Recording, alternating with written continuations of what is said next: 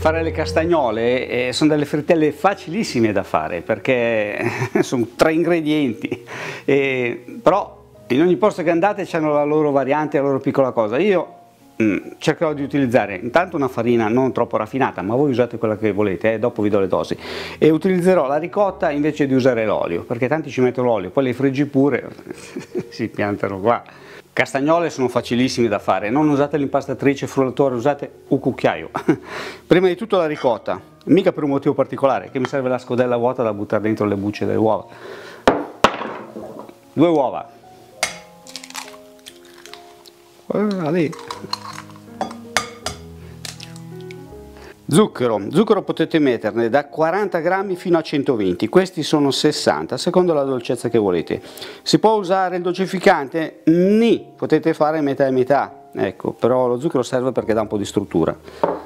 Un po' di vaniglia oppure un po' di rum a piacere, o anche entrambi, oppure nessuno dei due, scegliete voi, io ci metto un po' della mia vaniglia che ho fatto io, trovate la ricetta nel canale. Aroma di arancia o di limone, eh, raccomando, buccia edibile, Ecco, raschiate via la parte più superficiale, eh, naturalmente come dicevo se volete usare il limone usatelo, eh.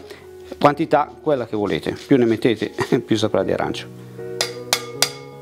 Pizzico di sale, eh. ho usato il cucchiaino solo perché non arrivo in fondo al barattolo con le mie manone. Tutti gli ingredienti umidi li abbiamo messi dentro, anche lo zucchero, mischiamo per sciogliere un po' lo zucchero.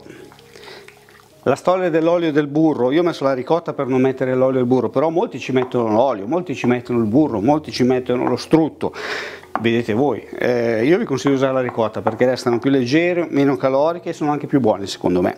Questo impasto se volete potete usarlo anche, invece di fare le frittelle le mettete in uno stampo, fate il eh, plum cake, la torta quella da tagliare a fette, buonissima. Ecco, una volta raggiunta questa densità, questa papetta qui, iniziamo a metterci la farina. Questi sono 190 grammi di farina di tipo 1. Se usate la 0 ne mettete 200 grammi, se usate la 00 ne mettete 210 grammi, perché cambiano gli assorbimenti. Naturalmente vi metto qui in giro dappertutto e anche sotto in descrizione eh, tutti gli ingredienti scritti per bene, così se volete ve li potete scrivere, stampare, quello che volete.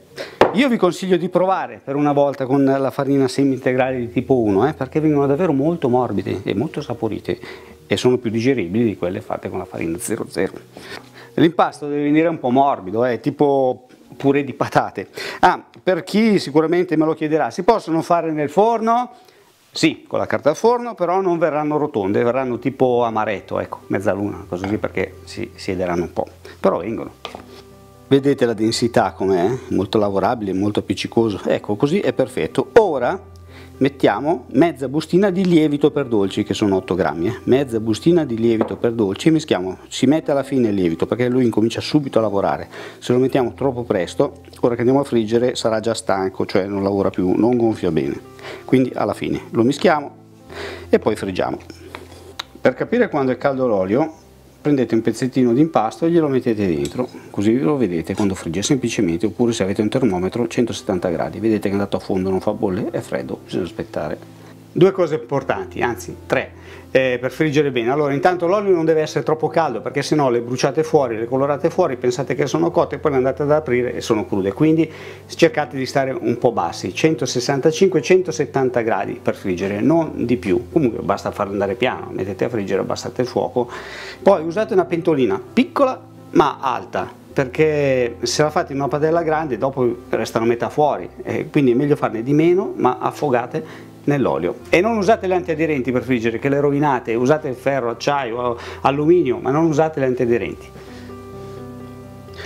Vedete che si sta già muovendo, iniziano sulle bollicine, tra poco ci siamo con la temperatura. Nel frattempo preparatevi la carta assorbente, pinzette, racchetta da tennis qui per tirare su, eccetera. È salito, avete visto che è salito? Ecco, l'olio è in temperatura. Usate due cucchiai per fare questo lavoro, oppure il sacco a poche, però io so che il sacco a poche non vi piace.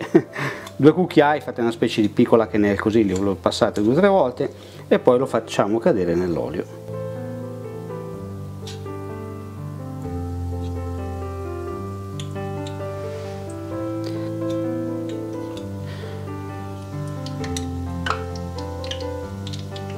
Faccio vedere bene come come farle allora mezzo cucchiaio anche meno di mezzo cucchiaio eh, perché più sono grosse più ci vuole tempo a friggerle dopo poi le passo da un cucchiaio all'altro, più volte le passate e più, volte, più diventeranno eh, rotonde dopo.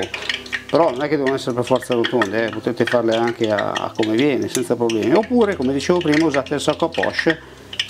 Quando avete una pallina così abbastanza rotonda, la fate cadere nell'olio vedete che friggono lentamente? Friggono però lentamente. E ogni tanto con un cucchiaino una forchetta un legnetto qualcosa le girate. Ci vuole un pochino di tempo circa 10 minuti ecco 8-10 minuti. Guardate il, il, colore dorato vedete? Quando sono andate per circa 8-9 minuti e raggiungono questo colore dorato qui tirate via eh. ah, olio di semi di girasole usato per friggere io uso la pinza per tirarli fuori perché sono abituato così, però se volete usare la, la racchetta, questa qui, ne tirate fuori tre alla volta. È importante che siano belle dorate. Questo ancora un attimo.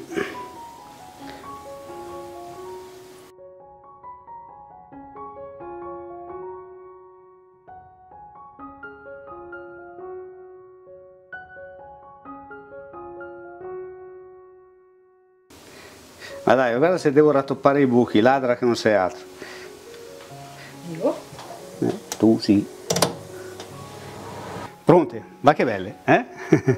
Dovremmo provare a farle anche con la semola rimacinata, prossima volta. Adesso le zuccheriamo all'esterno. Quindi, bacinella comoda, ma va bene anche un vassoio, quello che volete. Io faccio così perché faccio il cinema. zucchero semolato, normale.